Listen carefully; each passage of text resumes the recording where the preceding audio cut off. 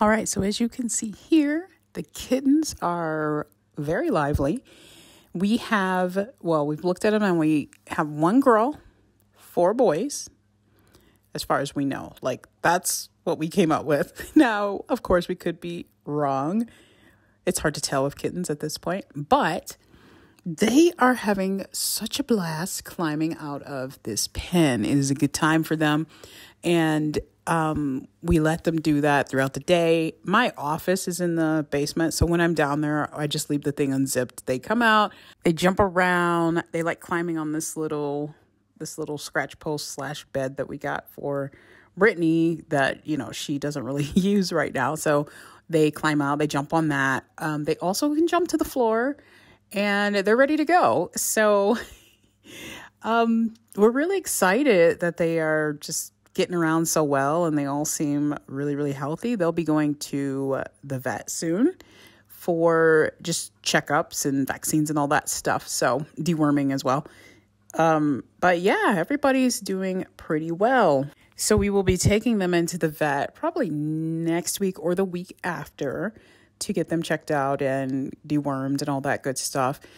Um, everybody is above where they should be for weight, so not a problem. Brittany is still nursing, but we are feeding them both wet and dry food um, throughout the day. So they're getting, I mean, they seem to like the dry food better, which is interesting, but we're feeding them both just so that they get, you know, a taste of of all of it because at this point we're we know that wet food is is the better option. It has just has more moisture in it and like cats drink water but not as much as they should usually and we want to kind of head off any urinary tract issues and all that stuff that tend to come later in life for cats.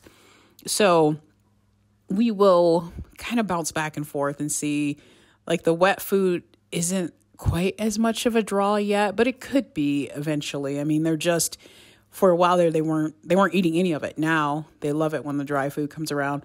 So we will be giving them both, um, and obviously water. They still are not quite clear on drinking the water out of a bowl. So we're probably just going to have to get them a fountain because every time we put a bowl in there, we have to stay there to make sure that they don't um, have an accident with it. And what they usually do is they just knock it over. so we put it in there, they sniff it, they kind of like, they try to smell it and inhale a little bit of water, and then they sneeze, and then they flip the bowl over. So that's what they've been doing so far. We'll probably just get them a fountain like we have for our other cats because that seems to work pretty well with getting cats drinking. So that's what's going on with our kitties. Remember to like and subscribe, and I'll see you in the next one.